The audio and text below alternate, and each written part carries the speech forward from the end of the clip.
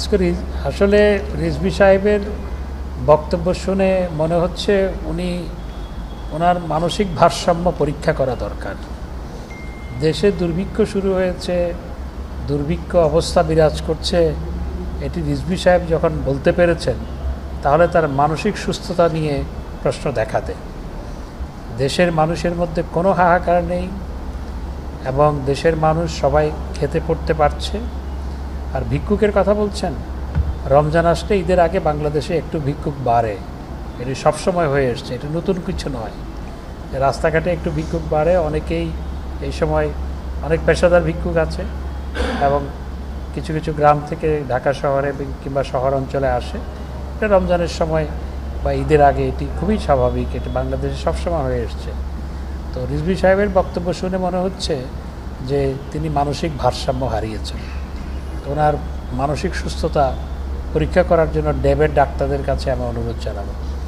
আর ডেবের doctor না পারলে আমাদের স্বাধীনতা চিকিৎসক পরিষদ আছে, তারা সহযোগিতা করতে পারে।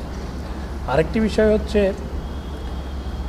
বিএনপি নেতাদের, তাদের ভারপ্রাপ্ত চেয়ারম্যানের মানি লন্ডারিংয়ের বিরুদ্ধে বাংলাদেশে এসে এফবিআই সাক্ষ্য দিয়ে গেছে এবং তার শাস্তি হয়েছে।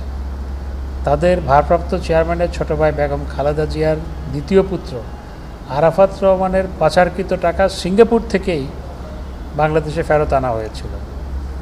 এবং তারা যখন ক্ষমতায় ছিল, পরপর পাঁচবার বাংলাদেশ দুর্নীতিতে চ্যাম্পিয়ন হয়েছে। তো সেইগুলো ঢাকার জন্য এখন রিজভি সাহেব আবুল তাবল বলছে। আরেকটা বিষয় আছে তাদের মধ্যে, সেটি হচ্ছে কথা বলার প্রতিযোগিতা। কে কত বেশি সরকারের বিরুদ্ধে বলতে পারে? রিজভি সাহেব বলতে পারেন নাকি আপনার মির্জা ফখরুল আলমগীর সাহেব বলতে পারেন নাকি মঈন খান বলতে পারেন ইদানিং? এই কথা বলার প্রতিযোগিতা। তবে রিজভি সাহেবের বক্তব্যগুলো যে যে পরিমাণ অশালীন, অপ্রাসঙ্গিক, বাস্তবতা বিবর্জিত, এতে মনে হচ্ছে তার মানসিক সুস্থতা পরীক্ষা করা দরকার।